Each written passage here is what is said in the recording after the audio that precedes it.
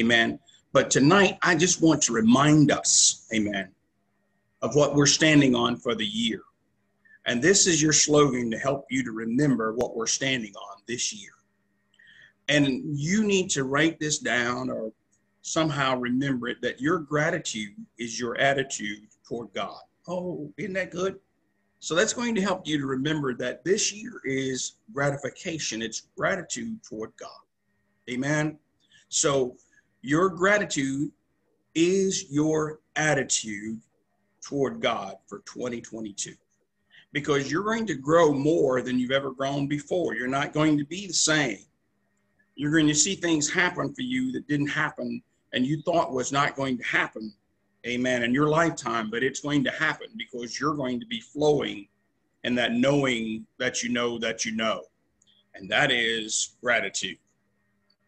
And again, I say, your gratitude is your attitude toward God for 2022. Amen. Tell a friend, amen. Share the good news of the gospel. Amen. So, without any further ado, let's just get into the word tonight and talk a little bit more about that gratitude and tell you how God is speaking to us about this and that we may flow in a more powerful way than we've ever done before. Amen. So, Father God, in the name of Jesus, we pray that you anoint the ears of the saints of God, that they would hear clearly, I say clearly, what you are saying to them in the name of Jesus. Praise the Lord. Hallelujah. So, with that, saints of God, so from that gratitude, we understand, and I mentioned this a couple of times already. So, from that gratitude being both thankfulness, thankfulness, and gratefulness or thankful and grateful is a combination. Those two things equals gratitude.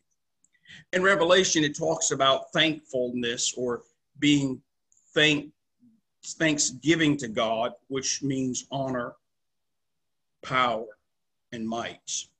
In the book of Revelations, it talks about that.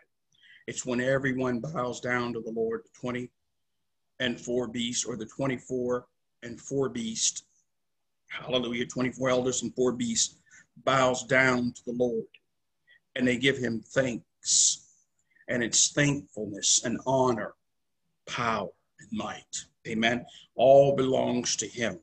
And they praise and they say forever and forever and forever. So the reason that they're in the throne room, mind you, is that they're already flowing in gratitude. They honor God in a powerful way. I feel the Holy Spirit right now.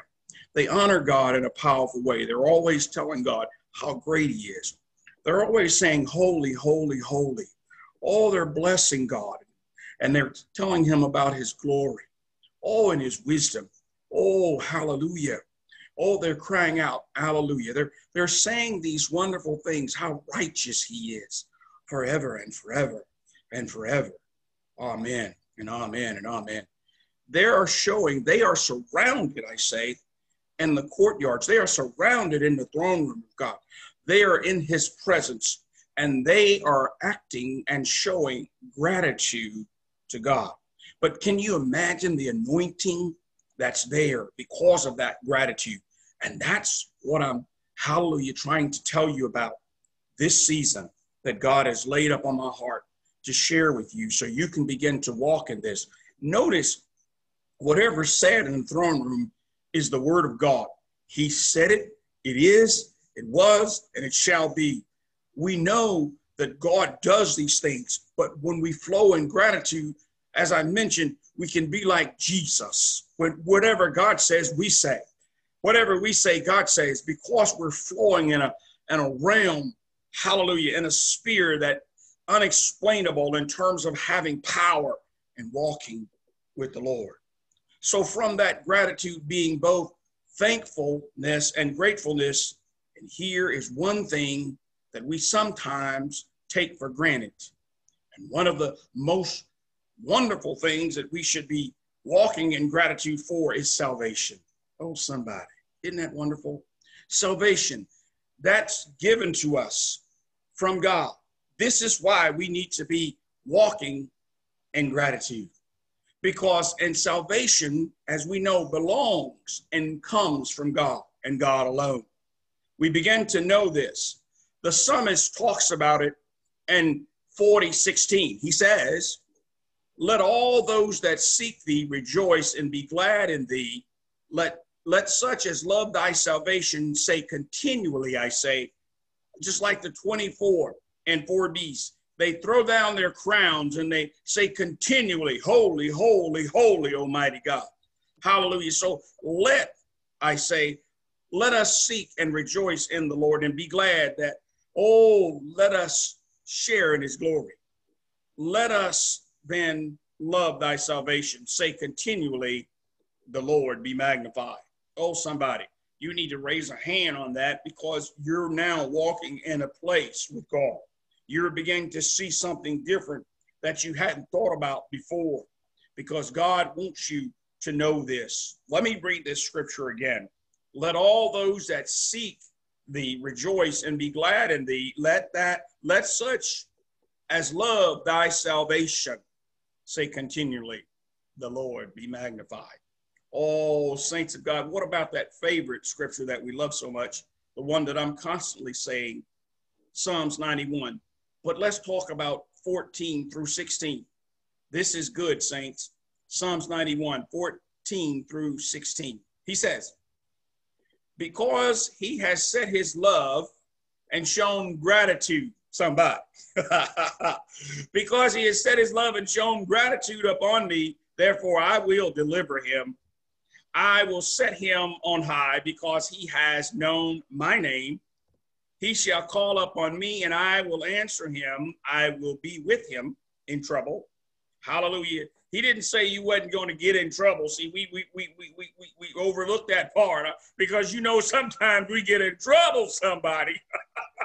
but I'm here to tell you that the Lord says he will deliver you from trouble. When you begin to understand who he is and show him gratitude, he says, because thou hast set thy love upon him and shown him gratitude, then he can deliver you from this trouble. He will deliver you and honor you. Amen. Oh, that's some. You ever notice something about when you were in some trouble and you know the devil thought he had you, somebody, but then you came out like the Hebrew boys oh, Meshach, Shadrach, and Abednego. You came out like that, and you didn't have a stench of smoke smelling on you. You came out like a, oh, somebody, because, oh, somebody, hallelujah, I felt the Holy Ghost, because God delivered you from that situation, didn't he? And when he delivered you, he honored you in it, didn't he? Oh, somebody ought to be feeling the Holy Ghost with me because you are going to learn how to walk in gratitude in the name of Jesus Christ. So you need to know that he will deliver you and honor you. He says, with long life. So, oh, somebody thought that was over for them, but I'm here to tell you, long life. Hallelujah. He said it in his word. I believe it, somebody. I, then he says, I will satisfy you, oh, with long life in the name of Jesus and show you that wonderful thing. Hallelujah. Oh, his salvation. Mm, somebody. Oh, somebody, let me share something else with you because it gets better. Hallelujah. I knew it was going to be good tonight, but I didn't know how much it was going to be good because we're walking in a spirit of gratitude. Hallelujah. For ye are all the children of God by faith in Christ Jesus. And that's scriptural. Galatians 3 and 26. Congratulations, saints of God, to all who are saved by God you have made the most important decision of your entire life. Welcome to the family of God. You are now beginning to understand and show God more gratitude than you've ever done before because you begin to realize. Now, I want you to call back like David always did. He called back to his remembrance and he asked and he realized how God had saved him out of many battles. David had many battles. How many of you had some battles? Oh, somebody, come on. And God brought you and delivered you did you not show him gratitude? Oh, you said thank you, Lord, but what about, oh, somebody's the gratitude, loving on God, showing him, thanking him, honoring him? Oh, somebody praying to him in awe, in the fear of the Lord, letting him know, oh, like the holies of holies do. Oh, letting him know how great and wonderful, how much you appreciate him in the name of Jesus. Grateful, hallelujah, that he even allowed you to live in the name of Jesus. Oh, the salvation is something. What is salvation truly then from God? It's a gift. We know it is, and God has to give it to us. He will give us this salvation after He deliver us and honor us, according to Psalms 91. Now, I like that. He deliver us first from any foolishness, then He honors us, then He gives us salvation. Oh, somebody. Notice what He did with Jesus. He delivered Him, He honored Him, and gave Him salvation. Why? Because Jesus flowed in nothing, nothing but gratitude. He was always thanking God, but he was grateful to God that God gave him the opportunity to save us. Oh, somebody, this is so good. What does it mean then? What is this salvation? What does it mean to be lost? Oh, somebody, Jesus knows this. We was lost, but because of him, we were found. Jesus came to seek and to save those who were lost. Hallelujah. And are lost. What does it mean to be a lost and guilty sinner in the eyes of God? Why is it that the non Christians are under the wrath of God?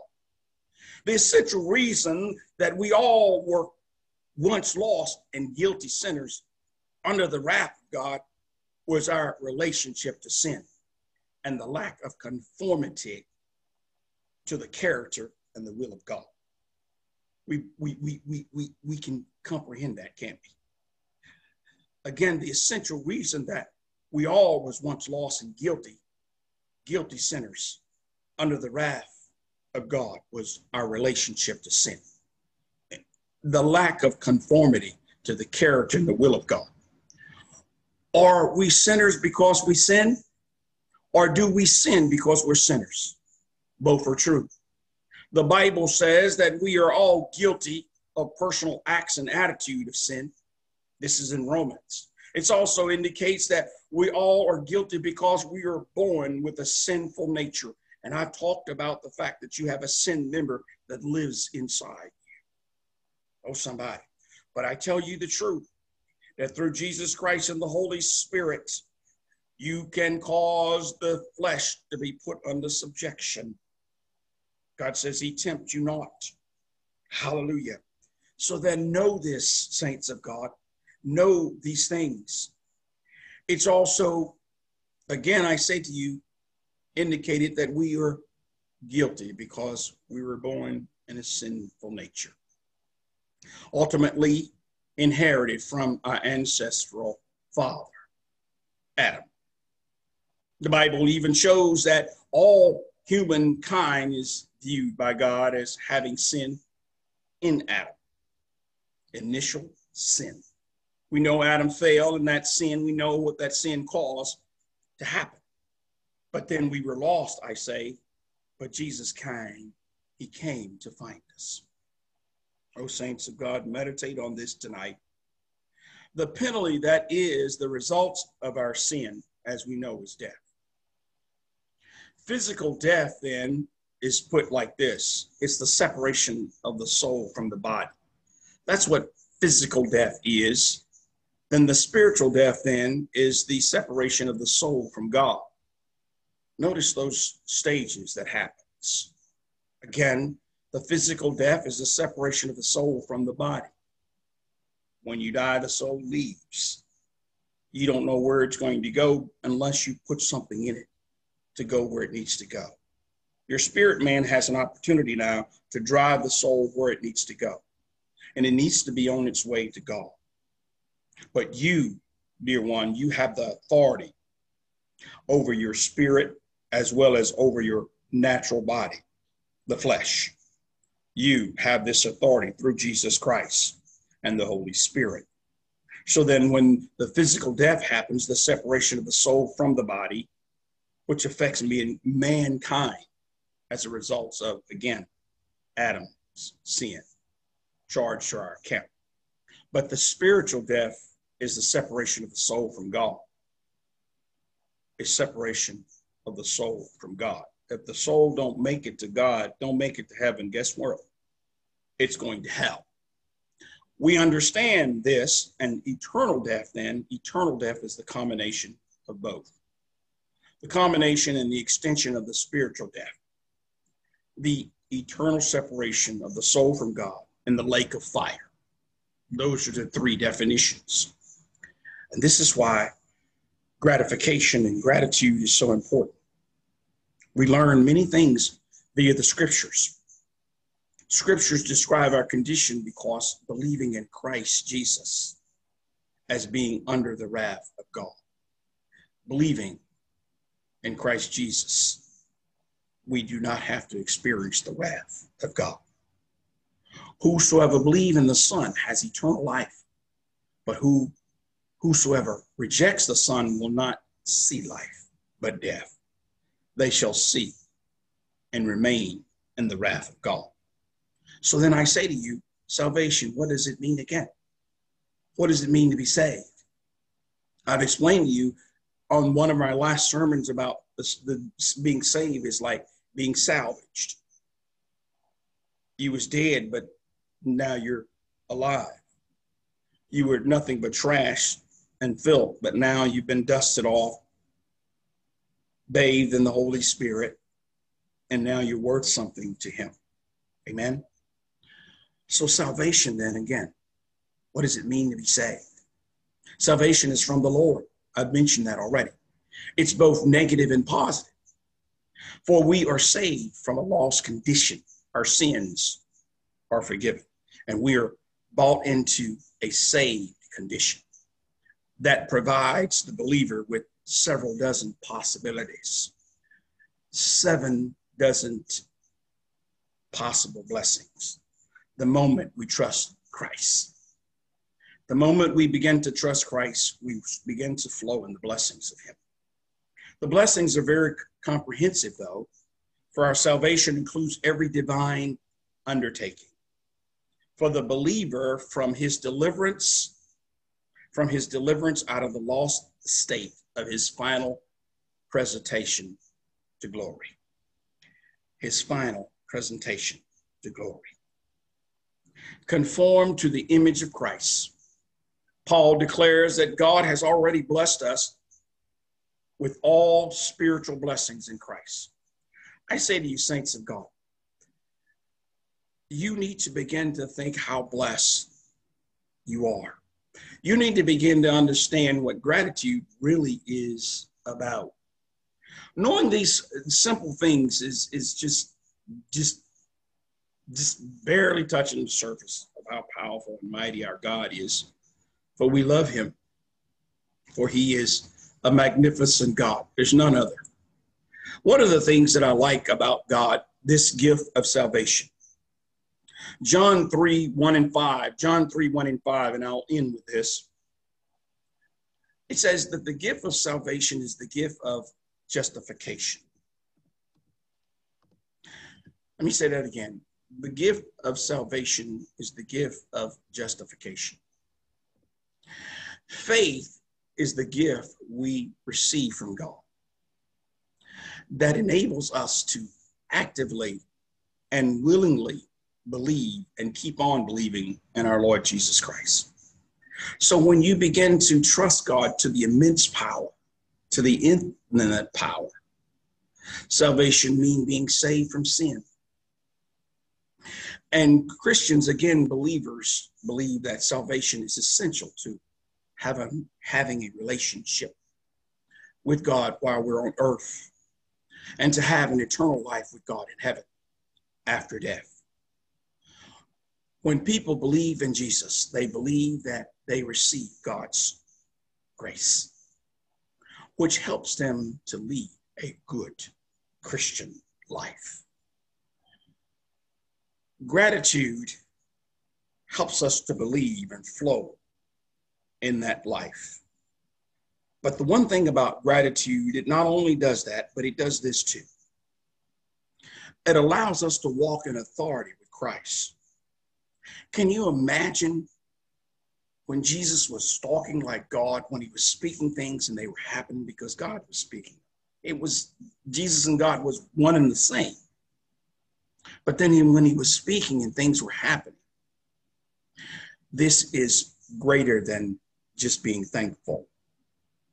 It's greater than just being grateful. It's greater than that. it's like being in the courtyards and things are happening and that they're just unexplainable because they're happening because God said it. Can you imagine walking in that authority and that anointing? So, saints of God, tonight, if I can say anything to you, is that we are, this church, we're going to be walking in so much gratitude that you're, it's going to rock your socks off. And what God is going to say to you is that you're going to gravitate to this. And you're going to see miracles. The church is going to grow. And it's going to grow because of the gratitude that we have for God, what God wants us to do. We, saints of God, have been put in a place so God could bless us. So I want to thank, first of all, God so much. But I want to thank you because you are now a part of this, and God is going to do a miracle in your life. In the mighty name of Jesus, we pray, and we give God gratitude in the name of Jesus. Saints, if this has blessed you in any way, give God gratitude in the mighty name of Jesus. Oh, bless the Lord, saints, for God is truly good. I thank Him now that we moved in a new new year in this wonderful thing that he's given us. Amen.